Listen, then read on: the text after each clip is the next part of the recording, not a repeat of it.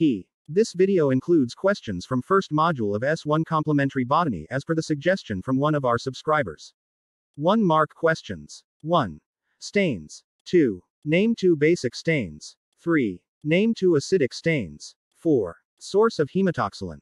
5. Name the natural dyes. 6. Mordant. 7. Lake. 8. Examples of double stain. 9. Double staining. 10. Safranin. 2 mark questions. 11. What are stains? Explain different types of stains. 12. Purpose of killing and fixing.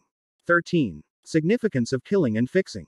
13. Define fixative. Name two fixatives and their combination. 14. Differentiate progressive and regressive staining. 15. Preparation of safranin. 4 mark questions. 16. Explain different methods of staining.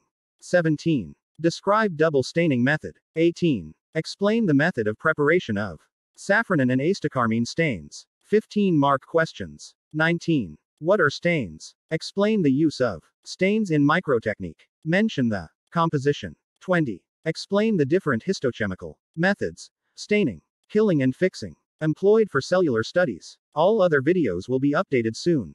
Please be connected with our channel for watching more videos of your interest. Thank you.